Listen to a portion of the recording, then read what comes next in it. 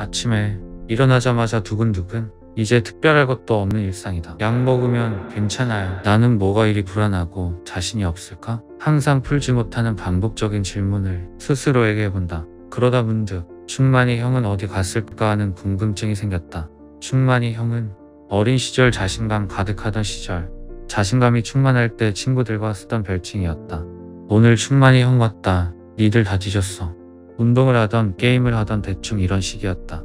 그때는 굶어 죽지 않을 자신은 있다며 입버릇처럼 자신감 넘치게 말하곤 했는데 지금은 그저 막막하고 아무것도 보이지 않는다는 말이 딱 이럴 때 쓰는 거구나 싶다. 충만이 형은 어디로 갔을까? 그 형도 같이 나이 들어가나? 나처럼 아픈가?